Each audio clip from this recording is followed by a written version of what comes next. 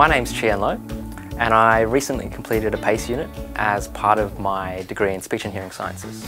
The PACE unit involved placement with the National Acoustic Labs. The National Acoustic Laboratories is a government research organisation. We're interested in everything to do with hearing loss and hearing disorders. The PACE program enables students enrolled within the bachelor's program to undertake either clinical placements or research programs within organisations that are located in the Australian Hearing Hub. Chi was introduced to us by PACE and he came and did a project so well. Chi's a remarkable young man and he uh, really helped us out by solving a problem.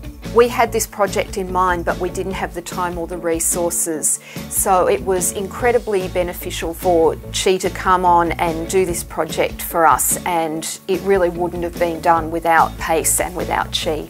The PACE program really helped him in understanding what was involved and supporting him all the way through this research project. The project involved evaluating LiSN & Learn, which is a program that the National Acoustic Lab developed to help remediate spatial processing disorder for children. It was designed as a take-home training program and it utilised one specific set of headphones. My task was to investigate whether or not we could use various other headphones as well. This would have benefits for consumers in the sense of choice, cost to consumer and access barriers. My involvement was with the testing, the analysis of results, as well as the write-up for the manuscript. He wasn't just given a little chunk of a project that had gone on for years. He actually was involved with it from start to finish. He personally was then able to write this up and get a publication out of it. I was fortunate enough to have three supervisors and they were constantly available whether it was face-to-face -face chats, phone calls or through email. Really, she was a dream student and I really felt like I didn't have a huge task there, so it was a great experience to work with Chi. The highlight for me during this PACE project was being involved with some of the best and brightest academics and scientists at Macquarie and at the National Acoustic Labs and working in world-class facilities in the Australian Hearing Hub.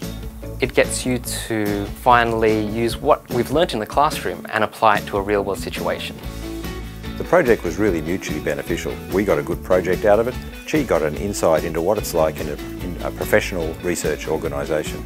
So for anyone considering a career in research, having your PACE done in a research environment, well, it's a, it's a glimpse into the future and you can see if it's for you.